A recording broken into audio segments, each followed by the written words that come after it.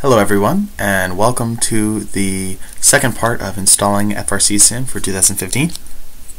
So we've already made our live USB in the last video and we've now booted into it. Um, I selected the try without installing option in the boot menu but you could have just selected install Ubuntu, that would have been fine. Um, anyways, you should have been presented with a menu that looks something like this. We're going to go ahead and hit continue and continue. You can select those things if you want, but you don't need to.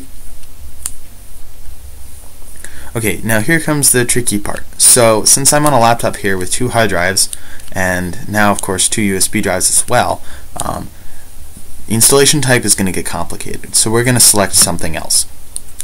What we want to do here is install Ubuntu onto our external flash drive or SD card or hard drive or whatever it be, um, or possibly internal hard drive, that's all your choice.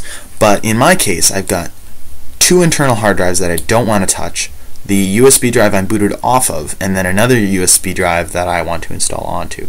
So it's rather complicated. However, it's rather simple to figure out which drive is which.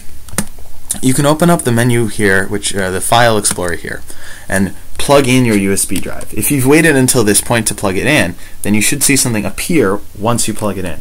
So I'm going to plug it in now, and we're going to see what happens.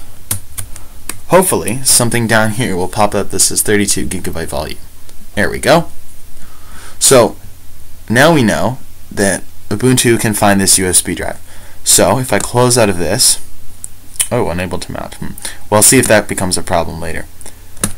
We'll hit continue, and then we'll be presented with this, which is um, essentially a layout of all the partitions and all the drives. So SDA1 is one of my internal things, and it's got Windows, so I'm going to ignore anything that's SDA1. I'm also ignore anything that's SDB, um, because that's Ubuntu. Sorry, I, I meant SDA, not SDA1. Anything that's SDA, don't touch. Anything that's SDB, don't touch. Um, we're looking for a third one. Now, it's not here right now, because Ubuntu wasn't able to uh, mount my, my, my flash drive, but we can fix that very easily. So if you go and open up a terminal, which you can do by either searching for it here or hitting Control Alt T, um, we can look at which devices are currently um, known on this computer by typing ls slash dev. So there's a lot of stuff here. Um, the ones we care about are these, the ones that start with SD. So now notice there's something called SDF. That, I'm willing to bet, is my flash drive. So if I remove my flash drive and run this again, haha, it's gone. And if I plug it back in, it's back again. Okay, so we have SDF. So we know we know that SDF is the right one. So what we're hoping to be able to find when we do this is something that says SDF. So we'll give this a minute, and here it is. All right, now the tricky part here is you need to select the right partitions and the right, drives. So here I've selected SDF as my device for bootloader installation because that's my flash drive. And then we're going to make a couple partitions here. So first of all, remove the existing FAT32, which is probably what it came with if it's a brand new flash drive. Um, if it's not new, just make sure you don't care about anything that's on it and delete everything that's there um, using that little minus button. Then we're going to add a swap partition, which doesn't have to be big. Um, 600 megabytes is a decent size. Um, you can look up online. Um, it's all dependent on how much RAM you have, but 600 is fine. Okay, and then we're going to make another small one for the boot partition. And then lastly, we're going to use up the rest of the space for the main operating system, which has a mount point of slash and is ext 4. Okay, so it should look something like this.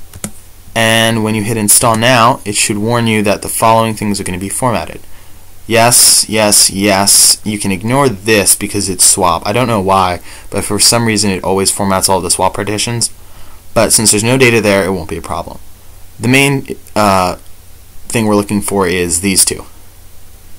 So if we hit continue, we're going to be presented with a bunch of you know basic fill out your username and whatnot. So I'm going to let you do that on your own um, once it loads, and uh, from here we'll move on to uh, setting up our new Ubuntu installation with FRC Sim.